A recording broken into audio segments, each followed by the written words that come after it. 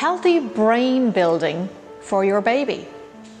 Your baby's brain is developing at high speed in the first two to three years after birth, with about 700 to 1,000 new neural connections every second for the first three years.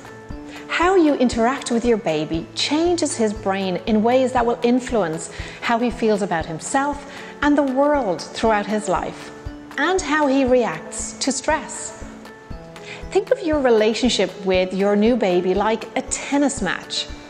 As you communicate with your baby, you are serving, and then baby returns. So there's a constant to and fro of communication in those early days that could simply be making eye contact with your baby, touching your baby, carrying your baby, maybe just talking to your baby as you're cooking.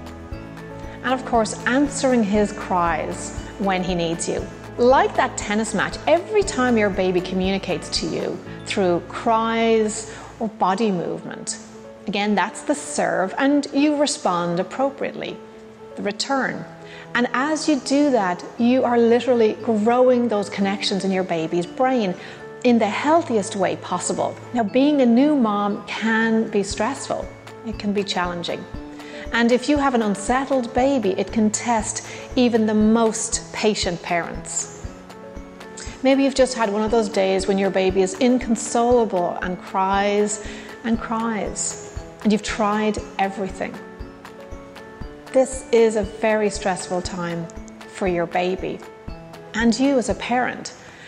But by doing everything you're already doing, walking, speaking softly to your baby, rocking your baby, reacting calmly to your baby's distress, you are buffering that stress response in his brain. And I know it might feel like what you're doing isn't helping, but responding gently and compassionately is exactly what he needs right now while he goes through this tough time. So today, respond gently to your baby. Rock them to sleep in your tired arms one more time tonight. Grateful, knowing that you are the expert of your baby and your instincts won't let you down. And be sure to lean on your family and friends for support on those difficult days so that you're not just surviving new motherhood, but you're thriving too.